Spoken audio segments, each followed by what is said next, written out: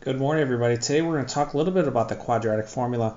Um, this is something you learned in Algebra 1. It shows up again in Algebra 2, and we're going to talk a lot about it in geometry.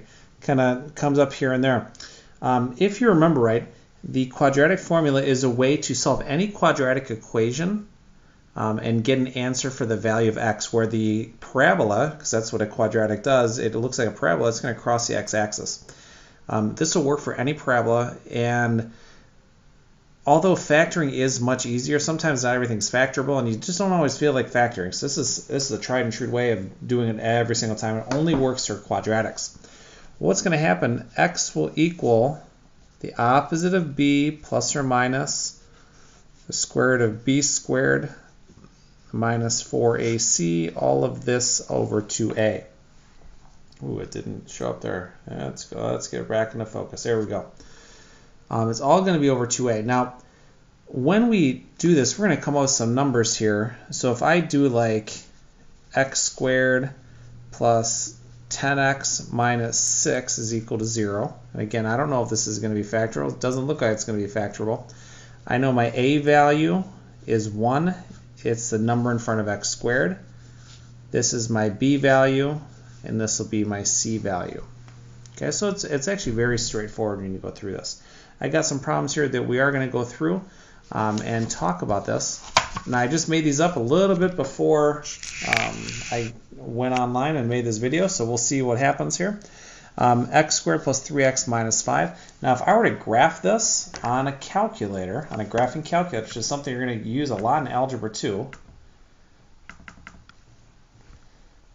we go on, this is a graphing calculator of x squared plus 3x minus 5. Okay. What we're looking for here, we're looking for where it crosses the x-axis here and here. Now it looks like it crosses around 1 and it looks like it crosses around 4. Okay, so let's let's see what happens, or sorry, negative 4. So let's see what happens. So my A value is 1, my B value is 3, my C value is negative 5.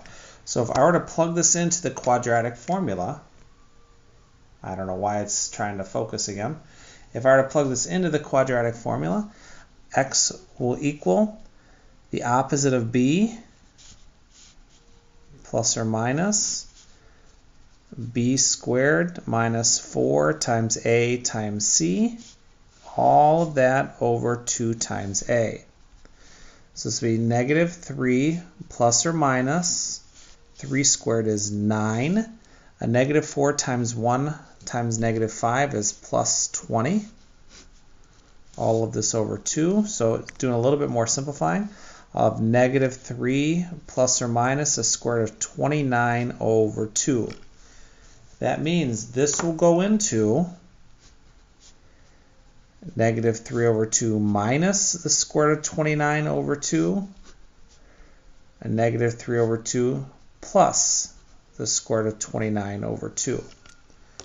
So if I were to find some values here, whoops, a negative, whoops, I don't want that one, let's try a negative,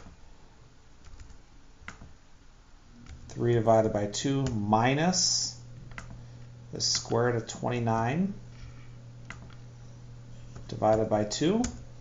I'll be at that point there. You can see the x value is negative 4.19, the y value is 0. Do another value there. Going negative 3 over 2 plus the square root of 29 divided by 2. And there's your other value right there, 1.19. Okay, so this is a tried and true way. This will get you a value every single time that you have a quadratic formula. Okay, let's try another one here.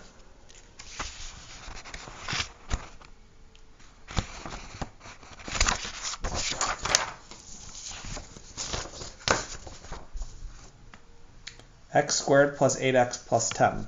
Okay, the A value is 1, the B value is 8, the C value is 10. So I plug this in, x will equal the opposite of B plus or minus b squared minus 4 times 1 times 10. All this over 2 times 1. It's negative 8 plus or minus 64 minus 40. All that over 2. 64 minus 40 would be 24. Now we could simplify this even further. So I have negative 8 over 2 plus or minus the square root of 24 really be a square root of 4 times 6 over 2.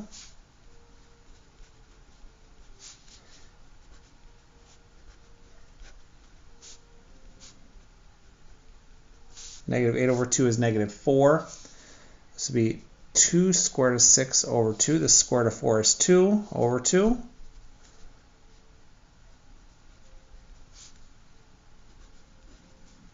Negative 4 plus or minus the square root of 6, which will break down into negative 4 plus the square root of 6, negative 4 minus the square root of 6. Those are our two x values. So if I were to plug this in to the calculator,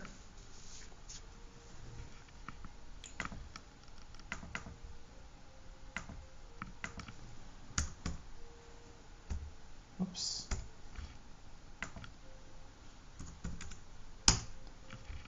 I graphed it. I did a value here. So I have negative 4 plus the square root of 6.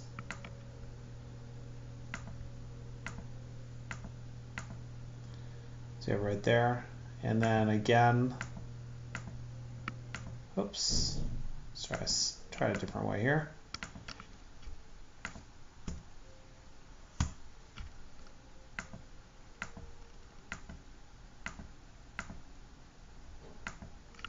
Okay.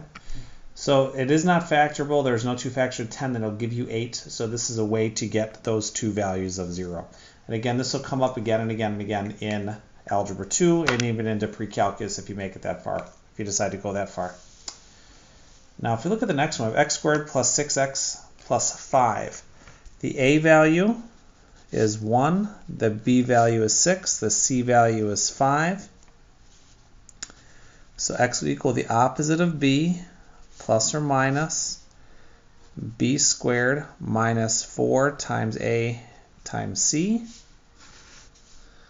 All this over 2a. So negative 6 plus or minus 36 minus 20 over 2. So that means x will equal negative 6 plus or minus square of 16 over 2, and hopefully our, everyone's ears are perking up here and say, hey, I know that square root of 16.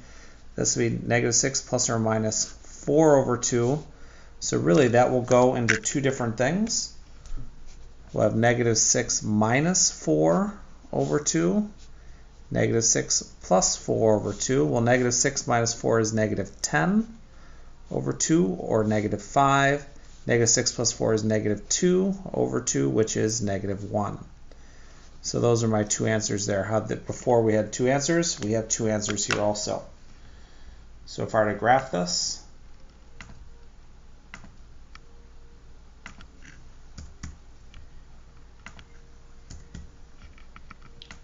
so yeah, even though it is factorable, you can still use a quadratic formula.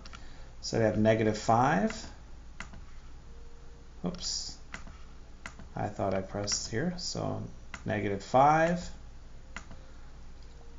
and 0, and then again at negative 1 and 0. So it is factorable, but sometimes you might not feel like factoring, so you can use the quadratic formula for that. Now in the next video, I'm going to be using a process called completing the square, and I'll start using uh, algebra tiles first. So keep that in mind. Um, the quadratic formula is review. You shouldn't have any issues with it. If you do, please let me know. I hope you have a great day.